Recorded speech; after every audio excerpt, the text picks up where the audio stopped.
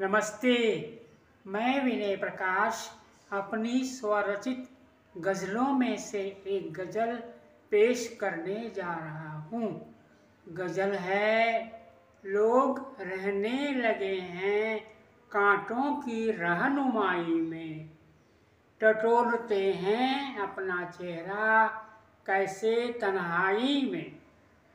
गूंजती हैं दिन रातें चमकती है चांदनी। चढ़ते हैं पर्वतों पे, गिर जाते हैं खाई में।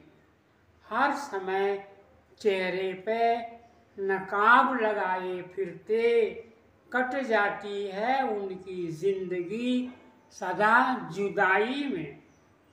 दरवाजे तो दरवाजे, खिड़कियाँ भी उदास हैं। बंधी है बेड़ियाँ, अब तो उनकी कलाई में। गजब का किस्सा है बेलौस क्या करे?